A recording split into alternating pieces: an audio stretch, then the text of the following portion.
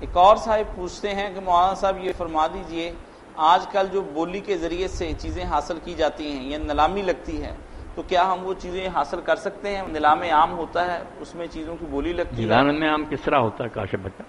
وہ کیا ہوتا ہے؟ مولانا کچھ میں تو حجرے میں رہنے والا آدمی ہوں اتنا مجھے نہیں کاروبار کا بڑا بتا دینا کہ وہ بولی کیا کس طرح؟ کی صورت بھی ہو جاتی کوئی سامان آیا اس کے بارے میں؟ اس کے بارے میں یہ بھی دو طرح کی بولیاں ہوتی ہیں۔ ایک ہوتا ہے کسی کا سامان اس نے پیسے لینے تھے پیسے نہ ادا کر سکا۔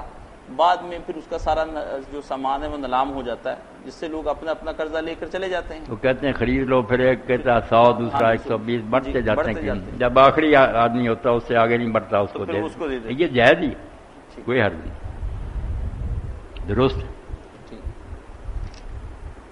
اس کو کہتے ہیں بے حرم نہیں عزیز کوئی ہے جو خریدے زیادہ قیمت اس نے اتنی لگائی کوئی اس سے بڑھ کر دیتا۔